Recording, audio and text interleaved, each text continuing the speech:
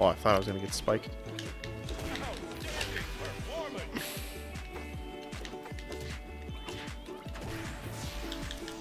Don't teabag.